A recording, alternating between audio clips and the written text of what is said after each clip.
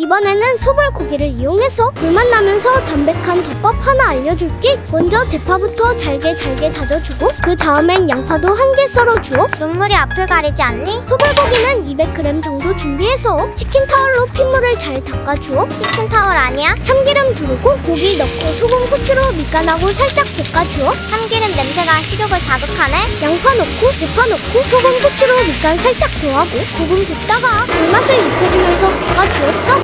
연기가 자욱한데? 흰 쌀밥에 얹어주면 완성이지 이번 생의 요리는 불맛 가득하면서 담백한 요리이지 하여튼 한번 맛있게 만들어서 칭찬 잘 받아 역시 흰밥과 잘 어울리네?